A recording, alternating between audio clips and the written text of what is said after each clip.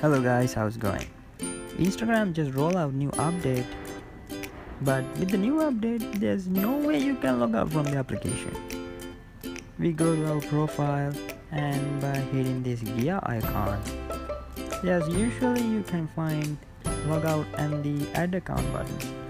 But with the new update, those buttons are disappears. So there's no way you can log out. But there's one way. So how to do this? Just get out from your application and go to your Safari or any kind of browser you're using and navigate to instagram.com.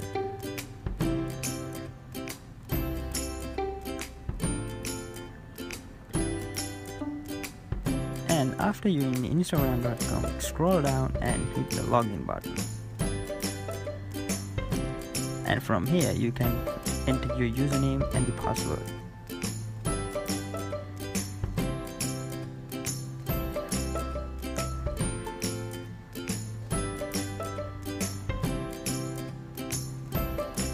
And now you can see your usual Instagram account from the Safari browser.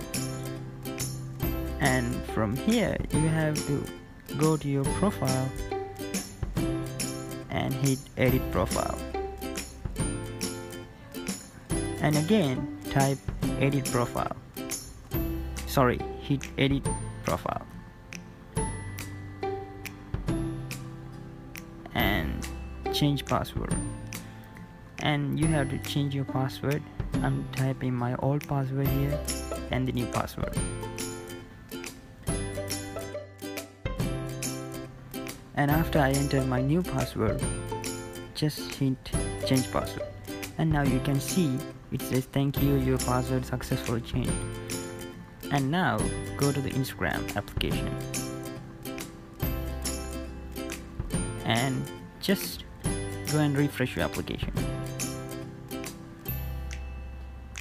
and now it says you have logged out from your usual account and no one has changed password blah blah blah things. Now you can log in into instagram. So thank you guys for watching. Make sure to subscribe to my channel and see you again